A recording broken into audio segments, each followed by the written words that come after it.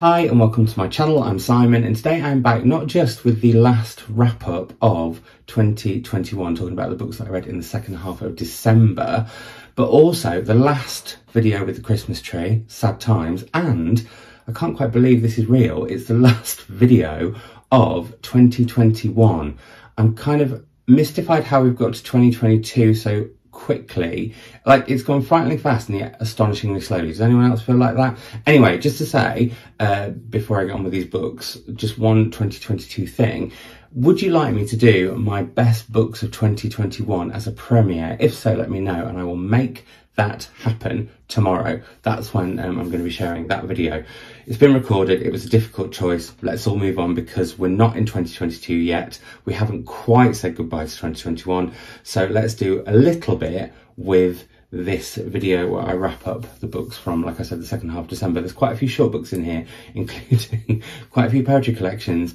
And I'm not very good about talking about poetry, so I'm a little bit nervous. And, uh, you know, my history with wrap ups in the last year, it hasn't been good, but I promise they'll be better next year. Anyway, so the first book since I last did a wrap up, which I'll link down below if you want to see my December wrap up part one, that I read was Michaela Coel's Misfits, a personal manifesto. And this is based, well, Michaela Coel gave a, a lecture, a MacTaggart lecture, which really inspired people on race, gender, working class, um, and looked at her life as a creator, what she's used from her life to create, including trauma. And this is a reworking of that with additional extras. And actually, at the beginning, I was a bit baffled by this book. So I was like, it's very much about moss, which comes too the gorgeous M papers. I know I talked about this in my um, books for Fjola, uh, Yola Bockerflot, which I realised I, I said the whole of that video wrong, where I talked about, um, I think it was 12 or 15 small short books that I recommended. I'll link that video down below if you want to see it. Anyway, um, it starts off looking at Moss and I was thinking, where's this going? And then it suddenly opens up and it's just brilliant. It's quite hard to read in parts. Um, Michaela Coel does look at trauma. I should say, if you don't know who Michaela Coel is, you need to watch I May Destroy You. It's really hard to watch, but it's incredible. And so is Chewing Gum, which is one of the other TV shows that she wrote and starred in. And she's phenomenal, I think, an incredible actress, incredible writer. And this shows off her writing. Again, it's very personal and yet open. Um, and yeah, I just thought this was a brilliant sort of pocketbook of power. That makes me think this for me was last year, the pocketbook of power, I think, was um, Elif Shafak's How to Stay Sane in an Age of Division. This is this year's book for me in that sort of pocket pocketbook of power genre. I'm I've realised like I'm making up genres left, right, and centre this year. It's ridiculous. Anyway, then I read The High House by Jessie Greengrass. Now, this was one that I read because it's on the Costa Book Award shortlist. I was going to make a video on all of the Costa Book Award shortlists, the fiction, well, not all of them, sorry, the fiction, the poetry, and the debut, because I've read all of them in all those categories. The winners of those categories get announced next week, and Mum and I are going to be reading all five and then sort of picking which our winner is. Um, I think that'll be over on her channel. Um, but I wondered if you would still be interested once they've been announced what my thoughts were on those 12 books. Let me know in the comments down below if you'd like to see it. This was one of them, so I can go into more detail uh, in that video then if you'd like me to. But this is all about a place called the High House. Um, we're in the UK in the not too distant future where climate change has meant that there are floods. And we meet a young uh, girl who has, well, a young woman actually, who has, um, her father has met another woman. They're both really into um, taking action about the climate. Her stepmother's not particularly likable, which is quite an interesting twist because she's kind of one of those people who you want to like because of all the stuff that she's doing that's so pro the planet. But um, yeah, she has layers. Um, and it's how that she has a step um, brother um, and how that brings her close to her father. But then she's left with her stepbrother in the high house when the climate change emergency becomes a huge emergency. That happens very early on. So I feel like I've told a lot of story which actually doesn't take much of the book up. And that's one thing that I thought was brilliant about the kickoff. Now, I have to say, I've had a mixed relationship with Jessie Greengrass's books in the fact that her first short story collection, her first book, I thought was absolutely brilliant. And then I did not like her debut novel. This kind of falls somewhere in between because I liked a lot of it. I read it very quickly. I thought some of the characters were interesting, although I will say sometimes I couldn't work out who was talking or who we were meant to be in the mindset of. Now, I didn't know whether that was done on purpose because you're kind of we, we meet basically at the high house a woman called Sally and her grandfather and Sally's kind of the caretaker. We get to know more about her as we go along. Um, but sometimes I couldn't differentiate the voices and that jarred with me a little bit or confused me a little bit. And again I wasn't sure if it was meant to happen like I said or not. Um, I think the way that Jessie Greengrass writes about the climate change was done brilliantly. I was quite tense because of it. Um, but yeah I think it's kind of for me, if I gave stars, which I don't tend to, this would be like a solid three, but I kind of really wanted it to be a four or a five because I think, I don't know whether I was putting all of my hopes in, like, I haven't read many climate change novels, and so I think I was kind of putting everything in on this one, putting all my eggs in one basket as well, all my eggs in one book. Um, but yeah, it, it sort of delivered and sort of didn't. So yeah, we have that one. Uh, then we have some of the Costa um, poetry. Now, in my last wrap up, I forgot to talk about Eat or We Both Starve by Victoria Kennefick, um, which is her debut poetry collection, and this is up for the Costa um, Poetry Award. And this is a fantastic collection. I thought this was brilliant. It looks at eating, and there's one brilliant poem called Diet, which I don't think I'm going to forget. Um, it looks at consumption, but also then goes out into some sort of more about family and about um, there's some stuff about religion here. Um, Victoria is um, an Irish author, so some of the sort of history of Ireland comes to the fore. I'll be talking about that more a little bit with another book. Um, and yeah, I thought this was brill. I um, would like to read this again, actually, and I think that's something that I'm going to do with a lot of the poetry that I've read this year. I think sometimes I can't work out, I'm not very good with poetry, so I can't work out whether it's good to like sort of binge a poetry collection or dip in and out as you go, a bit like short stories, although short stories sometimes I can binge a whole collection and read them instead of a novel. But maybe what I'm planning to do with short stories next year I should do with poetry and sort of pace them a little bit better. What's your advice if you're a big poetry reader? Um, let me know in the comments below. But yeah, I, um, I thought this was really, really, really good. As I did uh, Raymond Antrobus's All the Names Given, and I really, really loved Raymond's first collection, um, The Perseverance. I thought that was absolutely phenomenal. It looks at the deaf experience, it looks at the relationship between him and his father, it looks at his family history, and this is kind of an extension of that, um, but kind of it makes it sound like he's sort of working with the same ground and he isn't. He looks at like names and he looks at the sort of things we inherit historically or the things that we sort of take on that we that's maybe sort of more uh, less a person's actual history but actually history and how people are seen and perceived in history. Does that make sense? Probably not because i find poetry difficult to talk about and this is making me squirm want to stop recording and start again but i won't. I'm going to carry on um, so yeah, I thought it was great, um, and like I said, it, it, was an extension of the Perseverance. So some of the there's more about um, him and his father, but at the same time we go up and find more about um, his mother's side of the family. And yeah, I just thought it was a really, really, really great poetry collection. As I did, there's a theme coming: three great poetry collections on the trot. Um, the Kids by Hannah Lowe, which I hadn't heard about until it was on. Um, this was one that I was uh, highly anticipating, I should say. And actually, this one I hadn't heard about either. And that's one thing that I do love about prizes when they introduce you to books that you've not um, heard of before. It's very, very exciting. I find that a real thrill. Anyway, this is The Kids by Hannah Lowe, and this is all about being a teacher. And Hannah Lowe has been, or even she may even still be, a teacher in inner city London. And she writes about that experience as a teacher. She writes some poetry sort of from the people that she's taught's perspectives. Now, if that's reminding you of a certain author this year who's been absolutely like, well, not great. This is the complete opposite. This feels so real and is not done in any. Um, this isn't somebody sort of cashing in on talking about younger people and gender and race and all those things. This is about somebody who is listening to the voices of the generations that she has taught and then kind of giving that back in sort of sonnet form I feel like I know what I'm talking about briefly. Um, and um, yeah, I thought this was great. But also, she writes about the teachers that she had, and uh, yeah, we all we've all had really good teachers, I'm sure, and also really bad teachers, I'm sure. But um, yeah, this is I just thought was ace, and um, as my mum being a teacher, I really want her to read it because um, I think she'll get a lot out of it. Actually, my sister is trained to be a teacher, so maybe she will too.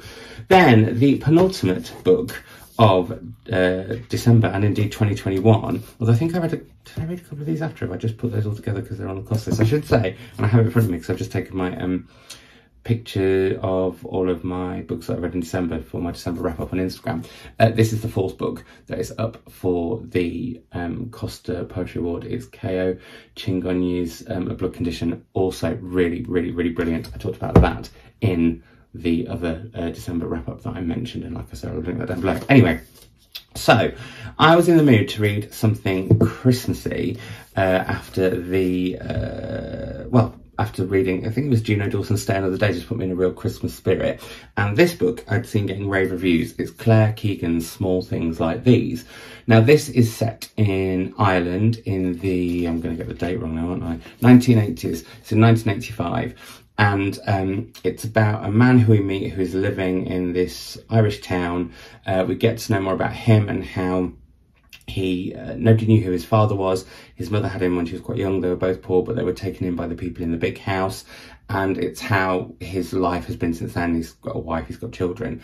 But at the same time, we're also hearing about um, some of the local buildings in the area, and one particularly, which is um, a religious building. And I kind of want to stop here because I think partly for me, what slightly ruined this book, if I'm honest, was the fact that, and this is where I feel awful because I've seen nothing but praise for this book, but it left me quite cold. Maybe I just have a heart of coal, I don't know, or, or an icicle instead or something, whatever.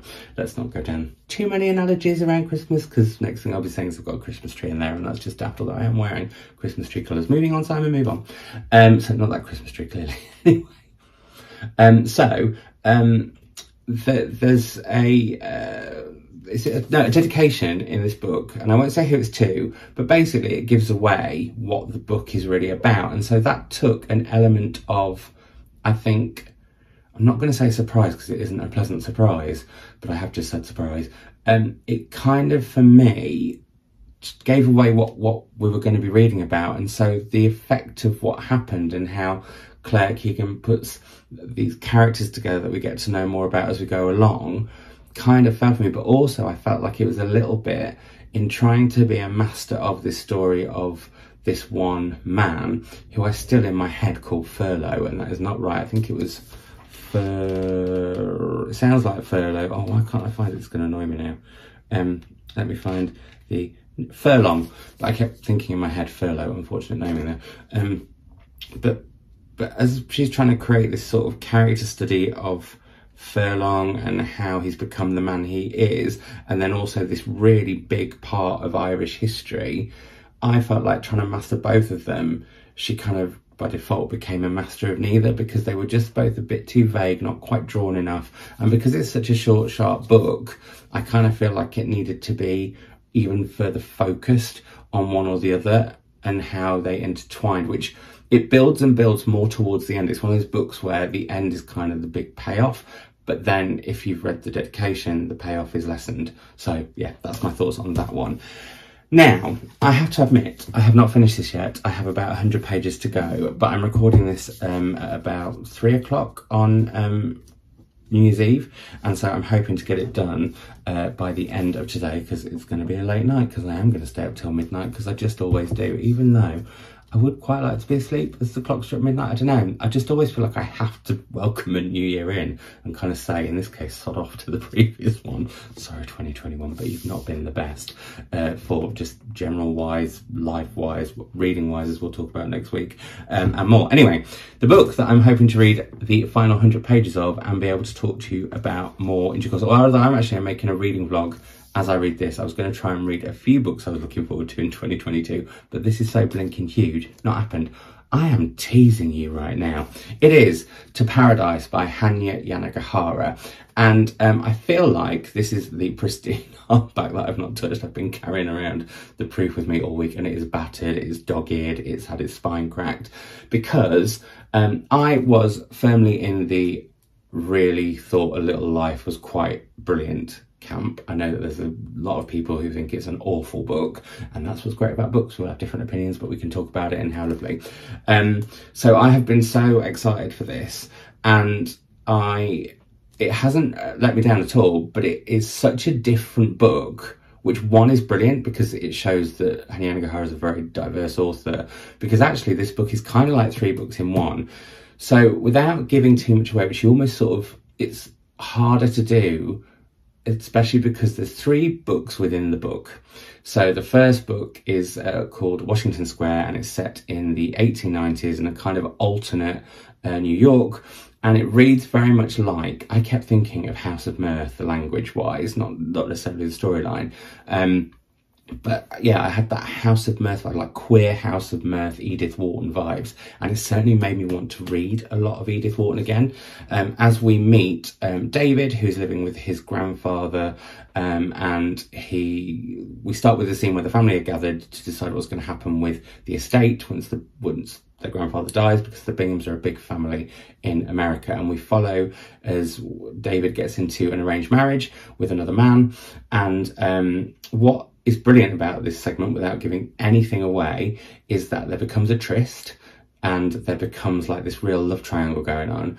But also you start to see that in this progressive sort of version of 1893, there's actually some really unprogressive things going on and the world is not what it first appears.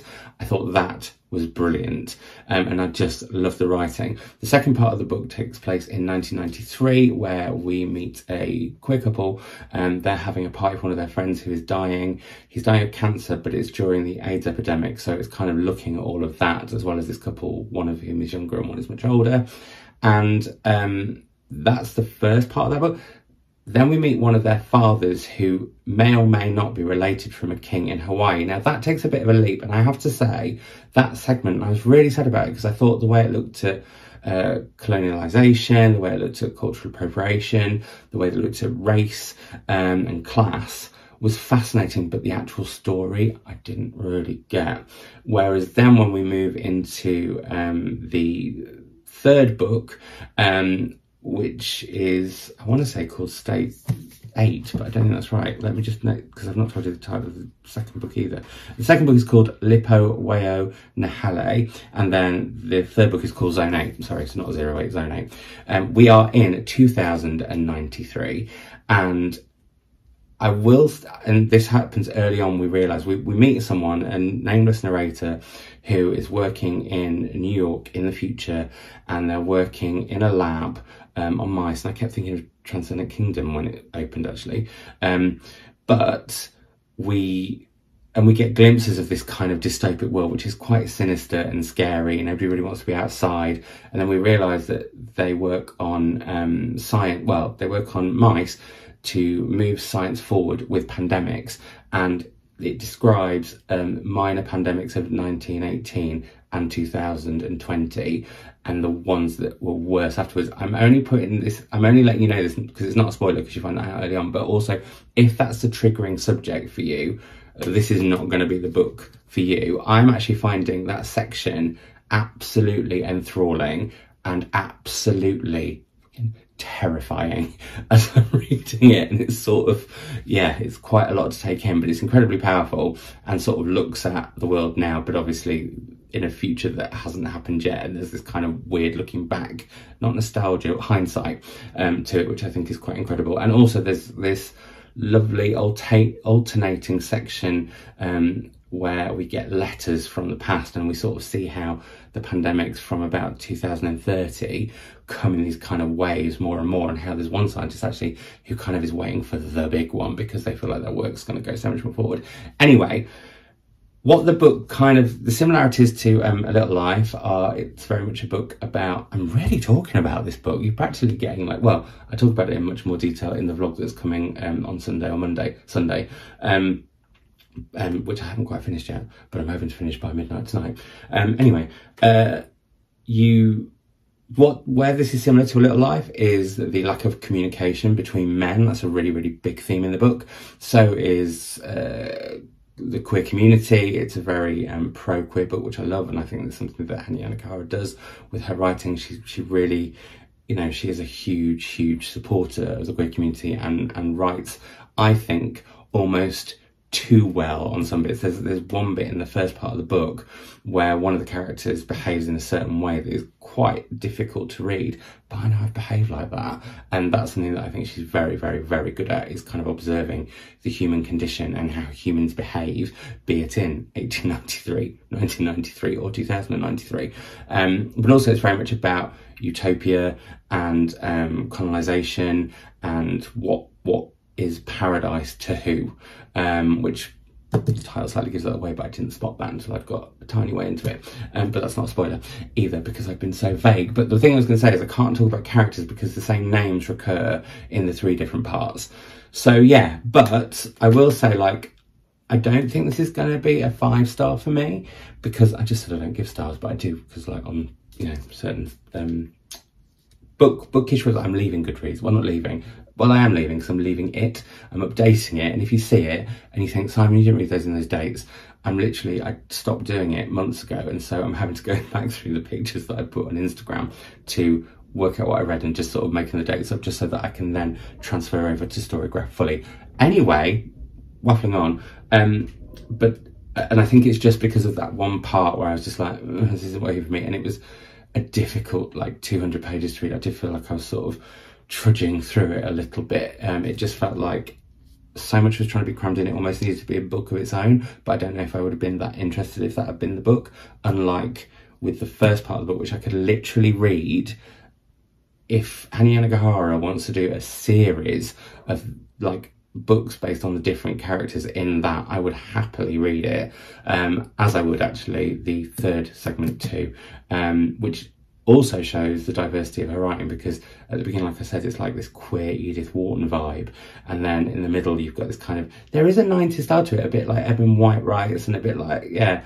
But then um, there is this kind of dystopic that did remind me a little bit of Atwood and yeah, um, brill so far.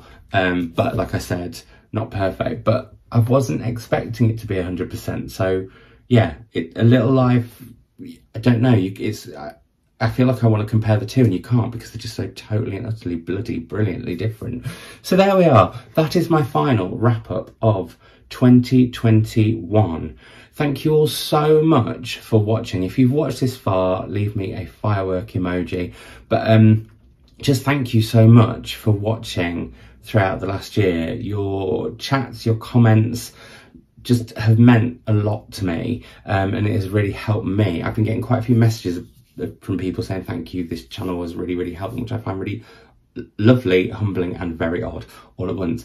Um, but how it's, it's, helped people get through 2021. And I just want to say the feeling is mutual. You have really, really helped me get through 2021 too. Um, but here's to 2022. I hope you all have a fantastic, happy, wonderful new year. Here's to lots more chatting about books over the forthcoming 12 months. Who knows what reading adventures we're going to be going on. I am so excited. And like I said, I'll be back tomorrow with my books of 2021 and Savidge Reads will have a slightly new look. Get ready for a new banner. I think I've changed my thumbnail picture already and I'll be changing the style of my thumbnails and I'm not going to change it after that. It's going to be what they are for the year because I've overthought thumbnails and there's just no point, but I'm hoping to do some new jingly jangly music. Anyway, I could waffle on for hours, clearly, um, but I will speak to you all tomorrow and let me know, like I said in the comments down below, if you would like me to do a premiere of my books of the year so that you can watch along. I will speak to you all then. Bye. Happy New Year, Happy New Year, Happy New Year, Happy New Year.